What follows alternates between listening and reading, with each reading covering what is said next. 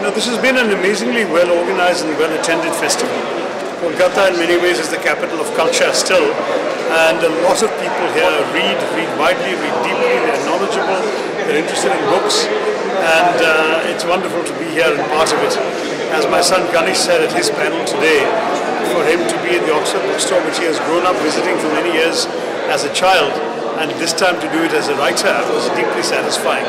And for many others in the audience, I think that relationship with the bookstore, with books, with uh, ideas that come from books, uh, has been part of what it means to be a Calcutta. So I'm just delighted to see the uh, AKLF uh, give us the opportunity to uh, bring our books to the attention of uh, readers here.